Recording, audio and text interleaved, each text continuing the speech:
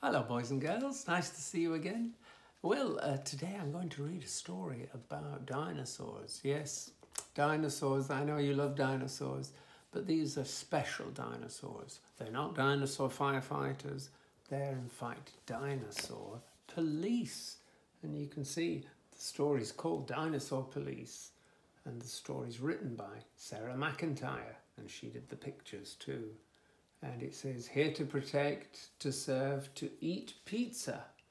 And it looks like there's a lot of pizza in this story because this Tyrannosaurus rex seems to be eating pizza, which probably is not very good for him.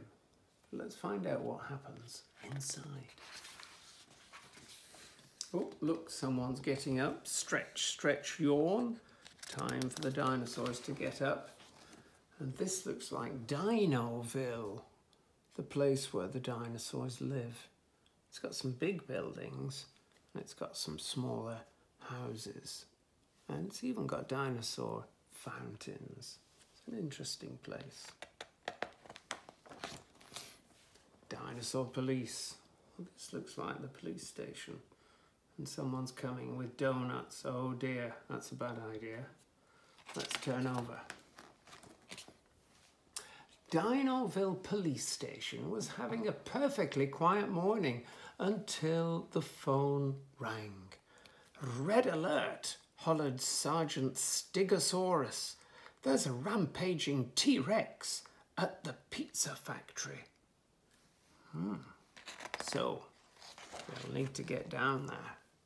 Sergeant Stegosaurus and Inspector Ceratops were on their way faster than you can say Woo woo.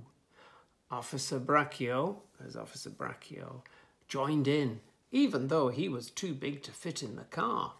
He's saying woo woo as well. Help! Someone's coming out of the pizza factory. And look, there's the T-Rex inside. The pizza factory was a mess. Inspector Sarah sighed. There she is. I should have guessed.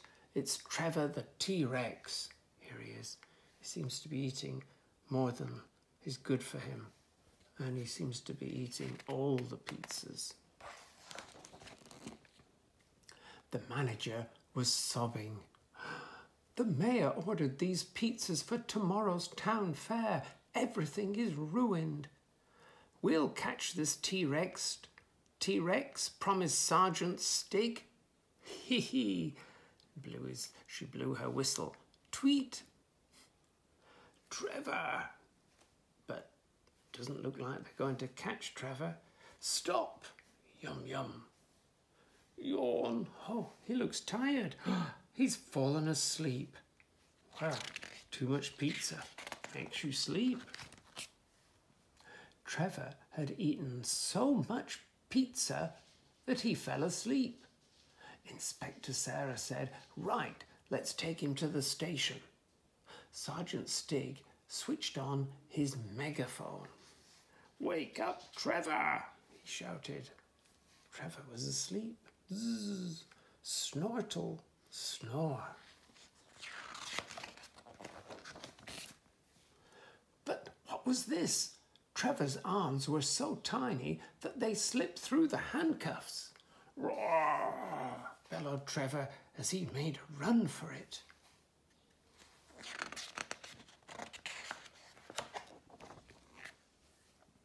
Sarah grabbed her police walkie-talkie. We need help. Send in the air squad. Stig bellowed into his megaphone. No, no, no, Trevor. Don't go that way. and look, Galumph, galumph, vroom, vroom, vroom. They're going as fast as they can. But did Trevor listen? Roar! He roared as he crashed and stomped through the building site with the air squad hot on his heels. I think these are the air squad. It looks a very sticky, dirty place though. What a fiasco! Could anyone stop that T-Rex? Well, perhaps it might not be a policewoman or a policeman. It wasn't the air squad that caught Trevor. It wasn't the police. It was the cement. Trevor was completely stuck. He let out a whine of panic. Trevor, said Inspector Sarah, we'll get you out, but only if you promise not to run away. Roar, agreed Trevor. Back at the station, the dinosaur police hosed off the rest of the cement. You see, they're washing it off. Trevor blushed like a tomato. I'm sorry, he said to the manager of the pizza factory.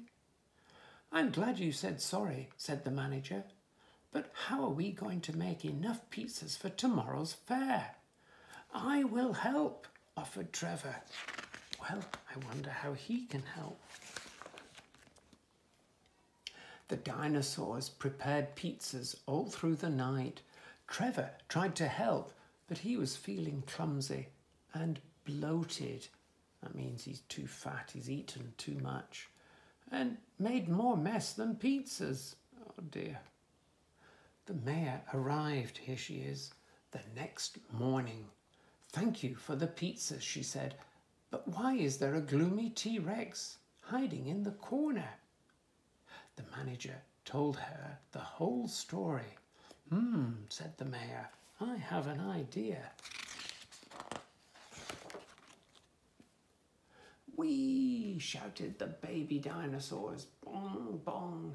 Nothing bounces as well as a big bloated T-Rex. It's like a bouncy castle. They're jumping on his tum. Everyone tucked into the yummy pizzas, everyone except Trevor, Trevor who still felt mighty full. Trevor was so happy he let out a little burp, and all the baby dinosaurs joined in. Oh dear. Oh, look. Brack. Ew, you had anchovy pizza, didn't you? Whiffy. Burp. Better out than in. Pop. My burps smell as fresh as the dawn. Mrap. Morning breath? That's not fresh. I think I just set a world record burp record. A world burp record. Fripp, this burp's going to go down in history. Kids will study it in schools. Mm-hmm. And this burp says the end here are some other stories that uh, we might read soon. There's the back cover. It says Red Alert. And there's the back and front cover. You can see there's the road. And uh, there's the front cover. Dinosaur Police. Well, it's really a story about pizza. Hope you liked it. See you soon. Bye bye.